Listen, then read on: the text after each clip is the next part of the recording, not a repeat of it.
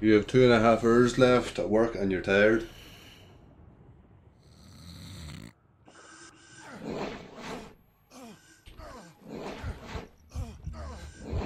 What? What? How you? Oh shit. What?